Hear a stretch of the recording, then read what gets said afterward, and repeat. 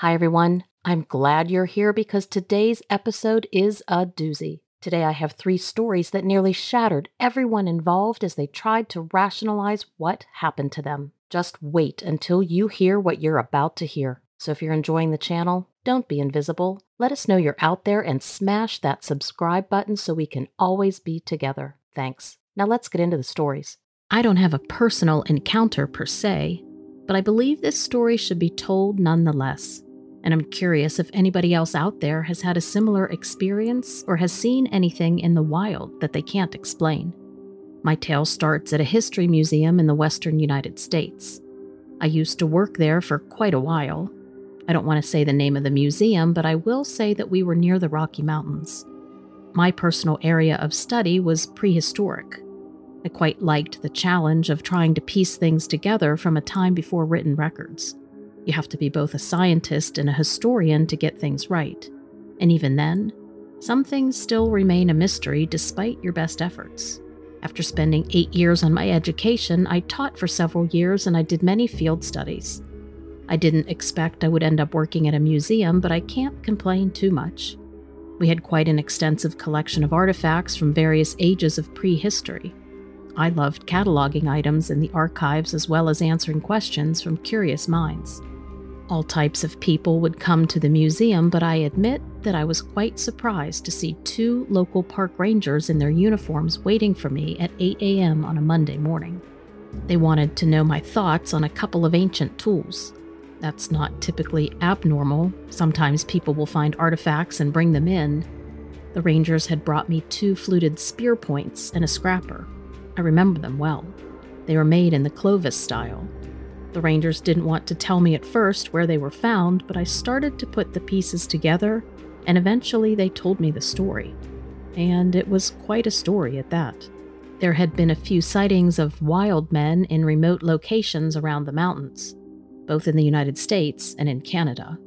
I'm not talking about national parks or heavily populated hiking trails, but instead backpackers who head way off marked trails. People exploring deep into the wilderness, often in near untouched areas. The rangers that patrolled this particular area had received a report from two hikers who claimed to have seen a wild looking man in the backcountry with no gear. The area was surrounded by miles of wilderness with no access roads nearby. The hikers recorded the GPS coordinates of where they saw the man and reported it to the ranger station. The Rangers investigated this particular incident, and after a long search, they found a cave with a primitively built structure around the outside. Something similar to a hut or a lean to with a woven roof is the way they described it. They said they found these tools in the cave along with several others, and there were signs of recent human activity. I had to check my calendar to see if this was an April Fool's joke. It would have been a great one, but the Rangers were dead serious. The tools they had presented me were near identical recreations of the Clovis style of tools found in America around 13,000 years ago. I still didn't quite believe them, though. I'm quite skeptical of an unknown population's ability to remain hidden in the wilderness for so many years without any contact with the modern world. Why haven't we had more sightings of these wild people? And if they're out there, what exactly are they? The tools certainly looked Clovis, but the Clovis people disappeared around 9,000 years ago. The Rangers both theorized that they could be responsible for the Sasquatch sightings that seem to be prevalent throughout the continent. I think there's more to it than that, but I don't have any plausible theories myself. I asked the Rangers to bring me to the site, but they refused. Imagine what we could learn from these people if they actually do exist out there. There are so many things that we don't know about their culture. We could learn what language they spoke. I can't really explain what an incredible find this would be for us historians. If the story's true, these people sound like they're living just like they were roughly 13,000 years ago, when they were hunting mammoths and mastodons across the plains. I imagine they must still be hunting big game with those fluted spear points. I do understand the rangers' reservations, though, if such a thing got out, I don't imagine it would go well for the wild people. They likely have no immunity to our diseases, and I don't suppose they would welcome us with open arms should we try to find them. but I can't tell you how badly I wanted to see that site. I would have done anything. Both of the rangers said the sightings were in extremely remote areas, so remote that it was surprising to even find hikers there. And they hope to leave whatever or whoever is living out there alone for the time being. Their curiosity got the best of them, so they found me. I was the verification they needed.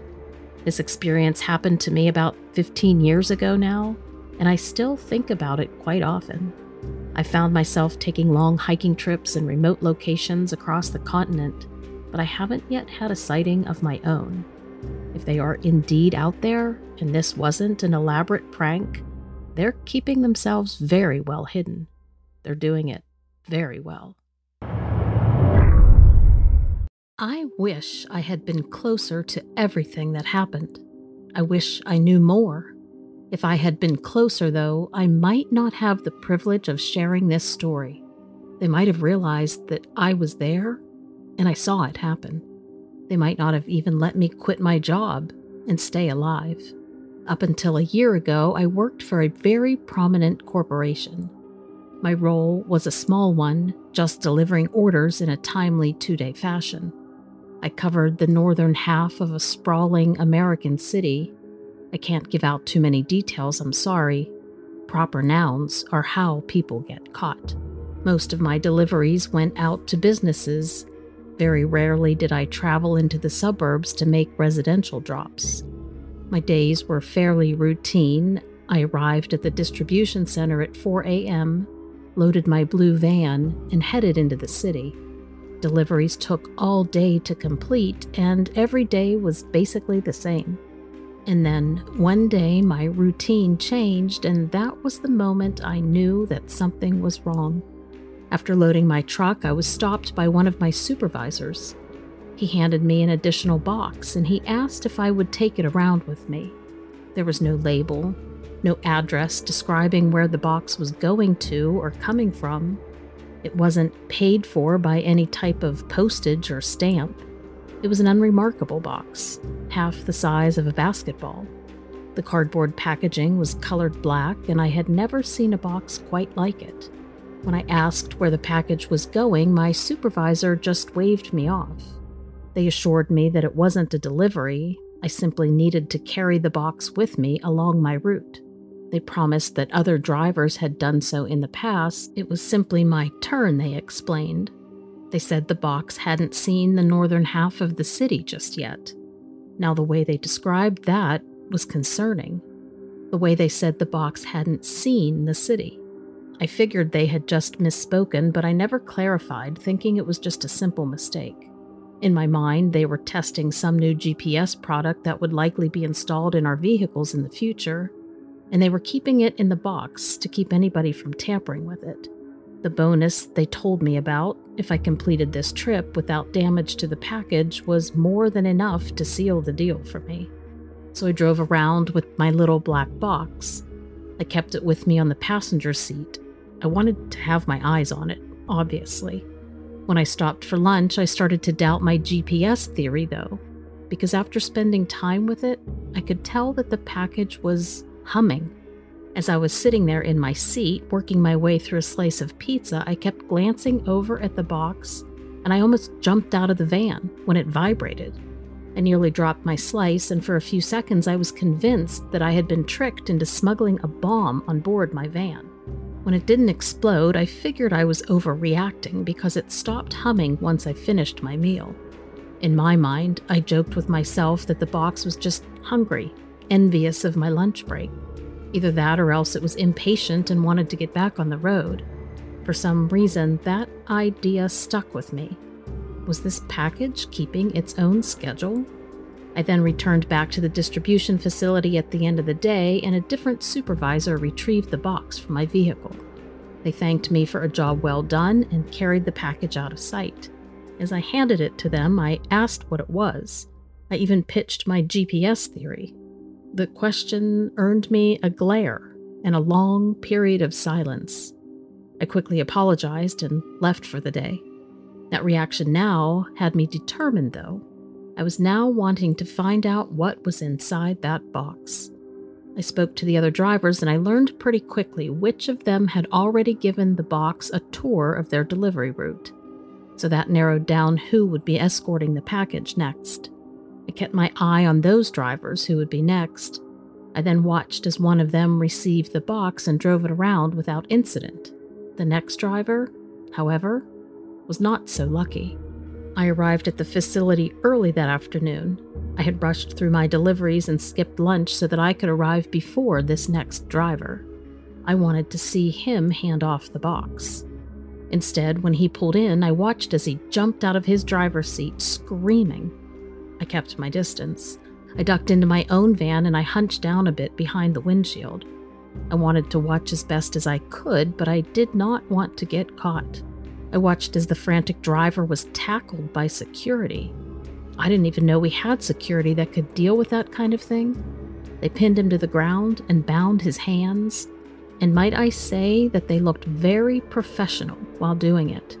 That driver was then carried away, hogtied. I guess they even knocked him unconscious somehow. And then next, I watched as my supervisors rushed into his truck and brought out the box. I could see from my seat that the black cardboard had been torn open.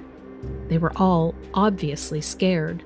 They were all on their cell phones and moving so hurriedly that I wasn't surprised when two of them collided. This caused the box to fall, and I could see something tumble out. It was shaped like a small pyramid. Most of it was silver, the color of steel, and the way the light hit it, I'm confident that it was metal. But what I could not understand were the veins. These thin green streaks ran across the surface of this pyramid thing. It looked like a leaf or thinly stretched skin. The streaks were pulsating too, throbbing. Watching it made my head ache. Whatever it was was scooped back into its box, and the team of supervisors all scurried off to their offices. Someone was going to be upset with them, I could tell. But I could also tell that the pyramid thing was not ours. It didn't look like any piece of technology that I had ever seen, and plenty had passed through my hands. When the other driver, the one who broke the box, didn't come back to work, I knew something was very wrong. I knew my company was hiding something. I instantly decided to quit and I let things get quiet. But your channel, Lilith, has given me a unique opportunity I've taken all the measures I need to stay safe. And I think that you and your followers deserve to know about this. You can spread the word and you can warn others without endangering me. I think the big corporations out there are working for somebody else. Maybe the government, maybe something even bigger. I think that they're driving around and scanning our cities. I think they're preparing for something, and I don't know what it is. I just know that if I stay silent, none of us will be ready for it. I am well aware that I'm going to sound like an absolute lunatic here, but I swear to you that this is a true story and I wouldn't be telling it if it wasn't. I've never told a lie in my life. I physically can't do it. Five years ago, when I first got out of the Army and moved to Kentucky, I decided to get a dog. I had long loved chows, so at the time I figured there was no better opportunity than to get one. It's hard to find a good chow breeder, but I managed to find one all the way up in South Dakota. She was a gorgeous red chow that I named Foxy. I got a good deal on her from the breeder because she had been saved back for breeding stock, but as it turned out, she was infertile, so she was already a year and a half by the time I brought her back to Kentucky to live with me. This dog was not used to the Kentucky woods. She had lived her life on the flatlands of the prairie, so every time we'd go for a walk in the wooded trails, she was eager to take off ahead of me and search the area. Then, every night, when we would get home, I would spend about an hour in the yard with her, picking the burrs and the twigs out of her thick fur before we got into the house. But on this particular day, we had been at the trails maybe an hour before the sky took on this weird dark gray coloring, and I started noticing flashes of light behind the clouds. It looked strange, like an unusual storm was rolling in, but in a really unusual way. So I called Foxy and we headed back to my truck and headed home. Oddly, though, just a quarter of a mile down the road, the sky was clear. I thought about heading back, thinking the storm was passing over quickly, but Foxy was already in the car and I didn't want to confuse her by heading back again. So we just went home. I grabbed a box of grooming tools and sat out on the porch to clean her up, and that's when I noticed that the sky overhead was now looking very much the same way it had when we were at the trail. Still, I thought it was just a strange storm brewing, and I called Foxy over in the hopes that we would get her cleaned up and in the house before the rain started pouring down. Now, chows are naturally nervous dogs, by the way, so at first it didn't really stand out to me that she seemed anxious about the change of the weather. But she kept looking at the sky and taking in the distant flashing behind the clouds, and every now and then she'd let out this deep, low growl. I tried to reassure her, told her it's okay, but she didn't seem to believe me. All at once, though, I got scared too. I watched as something dark came down, lowering itself through the clouds. It never quite came out from fully behind them, but eventually it was close enough to the bottom of the clouds that I could see the shape of it hovering, just above the mist. It was large and round, and the flashing lights were attached to its ends. Foxy pulled away from me, and she ran to the edge of the yard, where she was now directly below this thing. And then she started barking up at the sky, and she was obviously protecting me, trying to chase it off. As she stood there barking, a large flash of light came out from under the object, and a beam came through the cloud, zeroing in on her. She was right in the middle of it, barking away, and the beam seemed to be almost magnetized. There was enough static within the beam that her fluffy coat was raised, sticking out in every direction. And then there was this strobe light dark light, dark light, flashing so quickly I had to squint my eyes to protect myself. It lasted only a moment, but when I opened my eyes, the skies were clear blue and sunny. There wasn't a cloud anywhere, and Foxy was gone. I ran over to my neighbor's house and knocked on the door for help. I just needed somebody else to be helping me deal with this. I also asked them if they had seen what I had seen, but they just shook their head no. My neighbor said she'd been home all day but hadn't heard or seen a thing, and that she was just now in the kitchen cooking. And that's when I realized that she was making supper, and I looked down at my watch. Four hours had passed. I don't know how I lost that much time. The strobing only went on for less than a minute, it felt like and Foxy and I were just getting ready to head in for lunch when this all started. Had I really sat on the porch all that time, staring off at nothing? I had no idea how to deal with what I was experiencing, and so I headed back home, hoping to find Foxy back there. Luckily, she was standing on the porch at the front door when I got there, but she had this strange look in her eyes, and she was just standing, still, like a statue.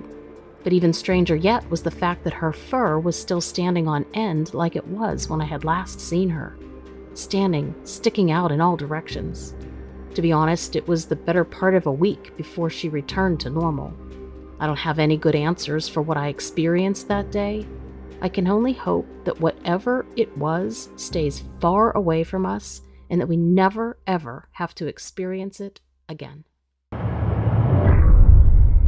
So, I'm currently sitting in a hotel two cities away from my house. Honestly, I am terrified, and I don't know if I'll ever even be able to return there. It's an older house that was built back in 1953 or so, but it's just beautiful, so maybe I will go back. I just don't know right now. I've lived there for two and a half years. I can say I've noticed some small things that should have been warnings. Obviously, I didn't care then. I do now, though. It's all starting to make a lot of sense. I've had times where I put my coffee down on my desk, and then when I go to take a sip, somehow the cup is on the coffee table. I found drawers and cabinets open, even though I obsessively close them when I'm done. I've heard squeaks, creaks, and bangs, but I always just figured it was the wind or maybe even the house itself since it's so old. Sometimes there was a slight knocking coming from the attic, but again, I just thought it was the wind or something. More recently, there have been cold spots, like really cold spots. I made a mental note to have an AC guy come out and take a look. One of my friends stayed the night about a month ago, and they said that it felt like someone was watching them. They also swore that someone was sitting on the bed while they slept. I have cameras in my house, but not in any of the three guest rooms or the bathrooms. Anyway, this past Thursday I came home from work at about 7:30. I brought home sushi and dumplings for dinner, and I turned on my favorite internet radio rock station and I was sitting down to eat when the air got extremely cold. It was freezing, like so cold that my glass of water frosted over. All of a sudden, my music stopped playing. I spun around to see if somebody had walked in and messed with my Bluetooth, but no one was there, just me, alone in the dining room. And then about 30 seconds later, my music blasted back on, way louder than it had been. I jumped about 10 feet in the air, it felt like, and I told myself that it had to just be the Wi Fi connection, that it was unstable for a moment and then turned back. And then all of my food was on the other side of the table, exactly in the same positioning as I had left it. Well, mostly, I guess. I'm embarrassed to tell you this because any normal person would have left pronto. Everything was as I left it, but it was on the opposite side of the table. I guess I told myself I had just misremembered where I'd put everything. I don't know. I sat down to finally eat my food, thinking that maybe I was just overly hungry and not paying attention to what I was doing.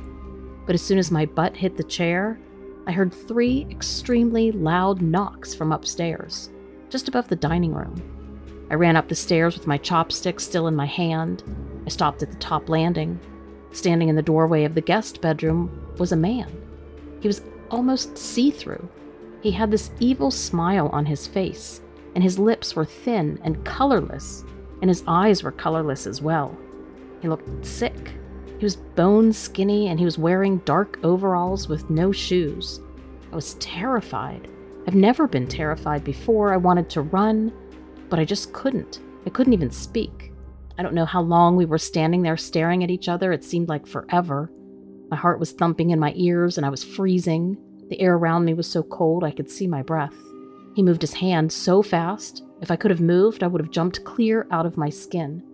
His skinny long finger was pointing up to the attic hatch. I felt like I wanted to move.